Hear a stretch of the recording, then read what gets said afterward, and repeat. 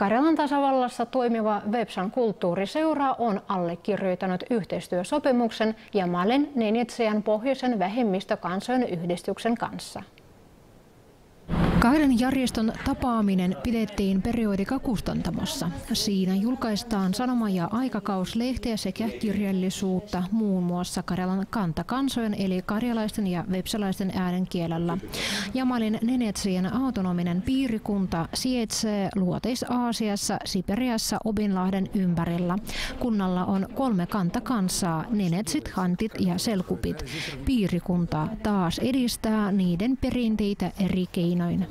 аналогично поддерживаем наши Vaalimme vähemmistökansojen kulttuuria, perinteitä ja kieliä. Meillä julkaistaan sanomalehteä Hantin ja Mansin kielellä. On oma radio- ja TV-yhtiö. Jamal valtiollisen TV-yhtiön alaisuudessa toimii kansallinen toimitus. Toimittajat käyvät tundrassa ja taikassa kuvaamassa reportaasia ja dokumenttiohjelmia, valottavat paimentolaisten kalastajien, peronhoitajien ja metsästäjien elämää. Yli puolitoista tuhatta kilometriä erottaa Karjalan tasavallan Jamalin Nenetsiasta. Vepsalaisten kulttuuri eroaa taas paljon Jamalin paimentolaiskansojen elinkeinoista. Kansoilla on kuitenkin yhtymäkohtia. Ne ovat Venäjän federaation pohjoisen Siperian ja Kauko-idän vähemmistökansoja.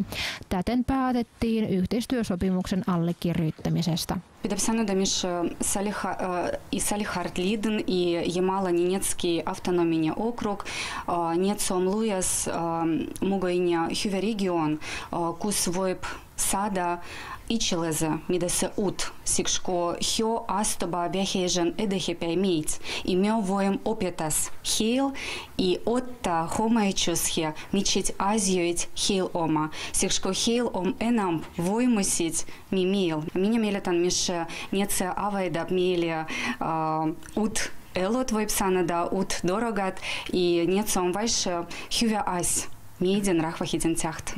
Lyhyen tapaamisen aikana kansalaisjärjestöt ovat jo löytäneet yhteisiä ongelmia. Ehkä ne onnistuvat löytämään myös yhteisiä ongelmien ratkaisuja.